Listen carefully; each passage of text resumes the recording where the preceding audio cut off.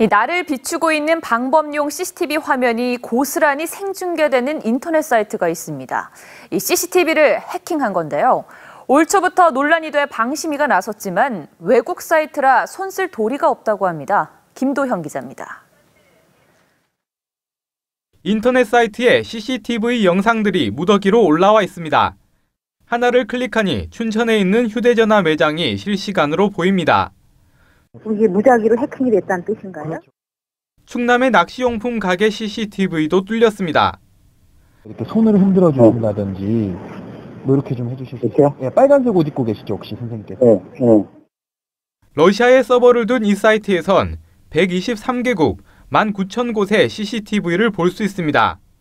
평범한 가게부터 군부대 내부로 추정되는 CCTV까지 국내 CCTV만 211개가 올라와 있습니다. 올해 초 방송통신심의위에서 차단했지만 우회 프로그램만 통하면 언제든 접속할 수 있습니다.